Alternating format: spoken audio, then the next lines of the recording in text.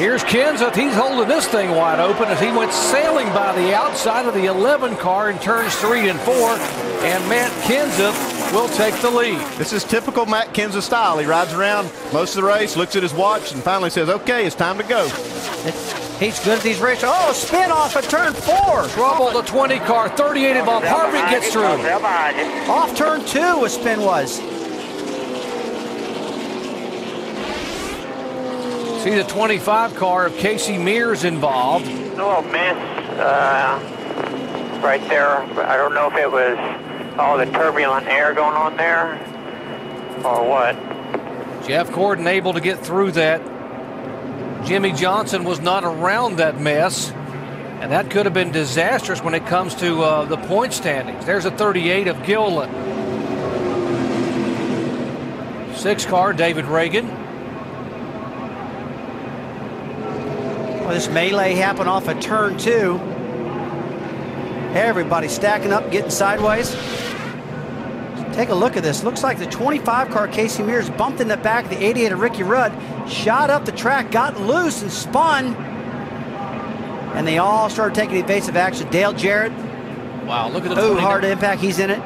29 car Harvick able to get in the back of the 38 and get by. There's Mears involved. Ragan, heavy hard, heavy hit for David Ragan, the rookie contender.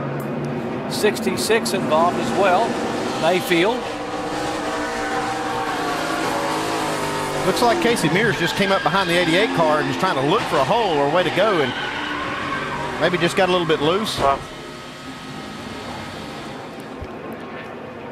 There's the contact Mears and Stewart right in front of 38. Got nowhere to go. Harvick into the back of the 38.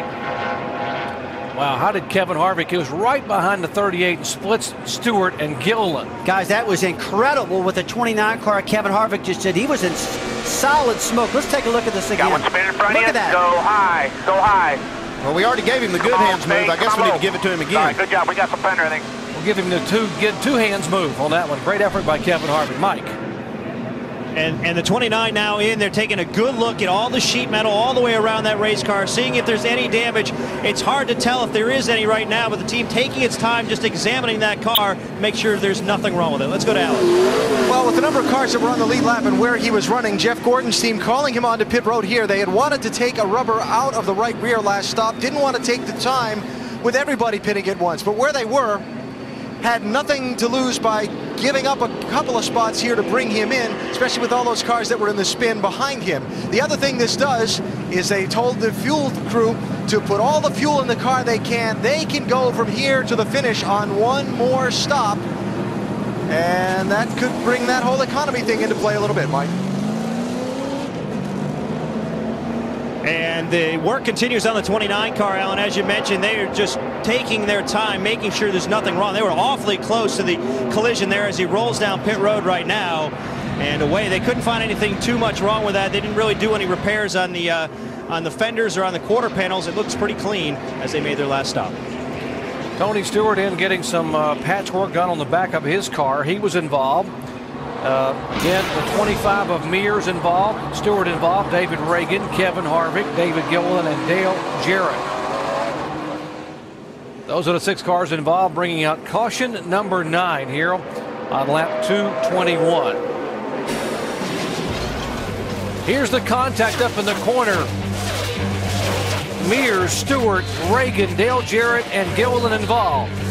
Under caution, you're watching ESPN on ABC.